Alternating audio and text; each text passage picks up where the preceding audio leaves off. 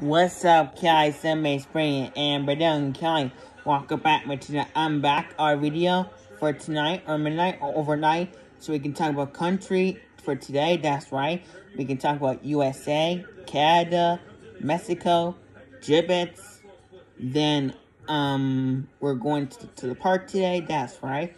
So we, we so we, we can play the playground.